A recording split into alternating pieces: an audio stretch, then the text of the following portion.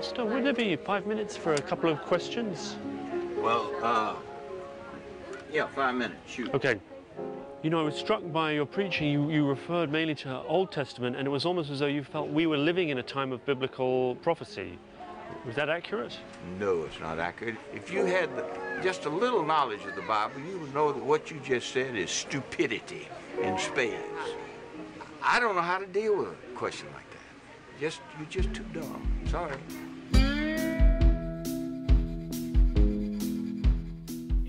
Not seem like it, but there's a real arc to asking questions, and documentary broadcaster Louis Theroux is a prime example to demonstrate this concept. In just under 20 years, Louis Theroux has produced over 50 documentaries for the BBC, covering a wide range of topics including neo-Nazism, the US prison system, the health and medical industry, and infamously the Westboro Baptist Church. I'm willing to talk with you, but you're, you're just being silly and oh, specious. being silly. Of course you are. Of course you are. You want to ride back? There's something oddly unique about Theroux that just really keeps your attention, so today, let's explore that. His topics in their own right are deeply interesting and fascinating to watch, but it's how he converses with individuals and builds relationships that makes him a character worth discussing. Starting his television career on Michael Moore's TV Nation in the mid 90s, Louis has come to prominence for his distinct style of interviewing. Rather than construct formal interviews in a controlled environment, Louis opts for an unstructured format that allows him to engage individuals in a natural and non confrontational way. The intention for this is to make the individual being interviewed feel comfortable and relaxed in what becomes a genuine conversation. Louis then generates his questions based around the responses of the individual, and thus encourages the individual to shed more light on the topic in question without feelings of pressure or stigma. It may not seem like anything special, but his ability to establish a rapport with his subjects makes his work feel less like qualitative research and more so an everyday guy that simply wants to have a chat with people about personal issues that affect them. His documentaries are never attempting to prove a point, but rather to observe and understand social themes through personal stories, with Theroux representing our ignorance to the issue under investigation. Social ignorance is so blatantly true that rather than walking into a scenario with extensive research, Louis plays on ignorance and naivety to make individuals feel more relaxed discussing powerful issues. He never understands the whole picture, and neither do we, which makes for a more collective learning experience as a result. Now, what's important about his style is how it influences the hierarchy of his conversations. He isn't trying to judge or necessarily challenge everybody, but rather put subjects into a position of superiority to make them more willing to engage with him. And with the individuals he does interview, his gullible charm and compassionate attitude eases the dynamic of interviewer and interviewee as he acknowledges their vulnerability. Louis remains emotionally detached from his subjects to maintain a neutral perspective on issues at hand, which allow for conversations to develop in various ways as he exposes himself to scrutiny as well.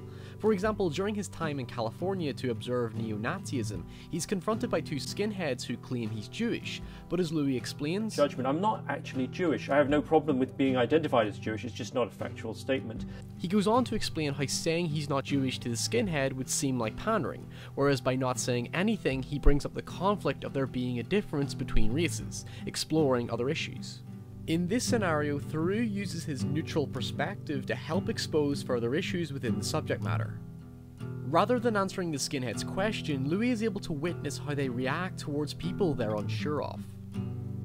As the confrontation develops, the skinhead becomes extremely protective of his territory, and he's uncomfortable as evidenced by his body language. While Louis doesn't reassure him, it allows for information to unfold naturally without directly communicating ideas. Louis never begins by initiating the topic. He tends to ask a seemingly innocuous question that provokes the individual into engaging the topic at their own free will.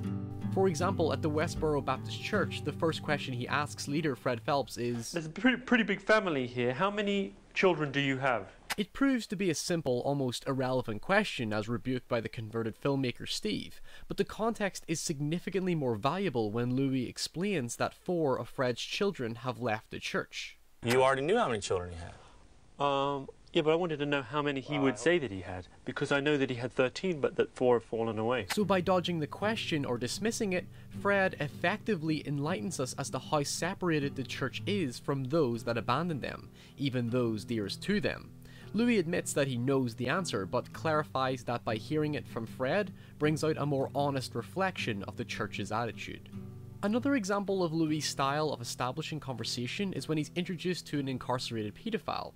Look at how he asks the first question. What, what are you What are you in for? What are you What are you doing here? It appears to be quite an obvious answer given the circumstances, but Louis wants to hear what the individual has to say about their situation because it makes Louis feel less intrusive and sets the boundaries as to what the individual is comfortable talking about.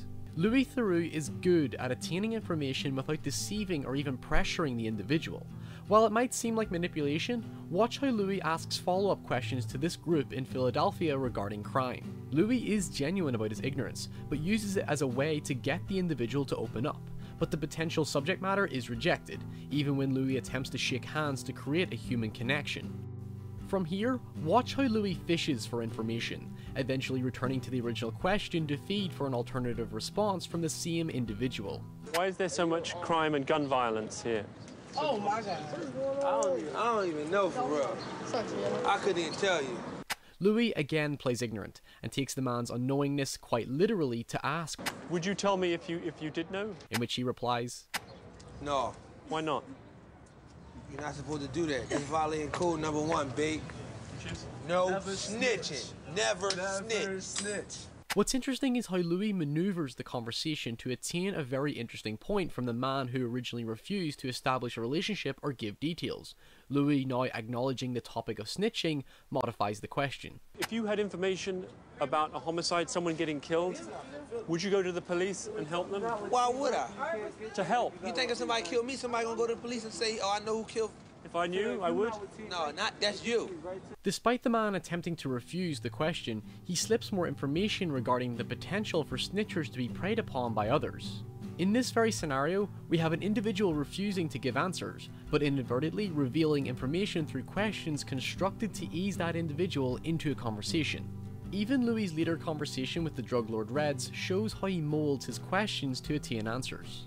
In this conversation, Louis tries to get Reds to open up about his drug business despite his denial. The pol- uh, we've been riding with the police Yes. a little bit, you know that. They've been telling you about us, right? They told me that you run things around here and that you control the flow of drugs around. No, no, that's that's wrong, man. That's wrong. Interestingly, Louis' first expression is not a question, but rather he presents a statement he heard from the police. Louis remains neutral and doesn't claim that it's fact, but rather anticipates the dealer's reaction to the allegation. When Reds doesn't bite, Louis tactically turns to his jewelry and asks if it's real diamond, inferring to the potential for Reds to be a rich man, which would incidentally confirm Louis' suspicions as he highlights the cost of the jewelry.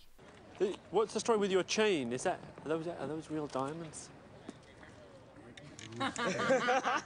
Yes, Are? How much for something like that? a couple, couple grand. A couple of grand. Yeah. If those are diamonds, that must be quite a bit more. Yes, it is. Than that. How much?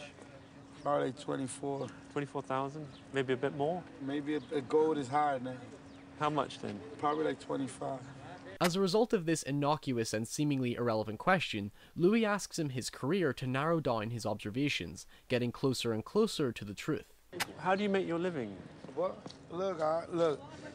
Real estate. We we sell cars and everything. You know. Look, this is my daughter right here. But even when Red still doesn't give a viable answer, just like all of Louis' documentaries, he doesn't judge his subjects, but rather leaves his observations open to the interpretation of the viewer. What's important about Theroux's documentaries is not what new information we uncover, but rather how we respond to the stories of real individuals. It's looking to create discussion through wants us to get a small glimpse of the lives of others without intense scrutiny. These are personal tales that are never toyed with, but rather explored under the control of that individual. And at the end of the day, it's not up to Louis nor us to impose our own feelings, but rather welcome the feelings of others.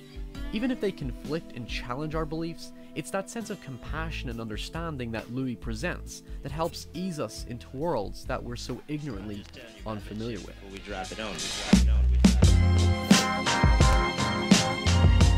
Hi guys, thank you so much for watching. Uh, if you can't tell by now, uh, I am massively influenced by uh, Louis Theroux. Sorry for being gone for two weeks, I have been busy, so uh, now that that's out of the way, I can sort of get back to working on these videos. Um, if you want to, uh, please do consider pledging to the channel, that is what's going to keep the lights on and is sort of going to help me uh, along the way, especially if you want to see more and more content from me along the journey. until next time, stay safe and subscribe if you haven't, make sure to comment below, I love hearing your thoughts, and you can find me on Facebook and Twitter. Uh, so I'll, yeah, I'll see you next week.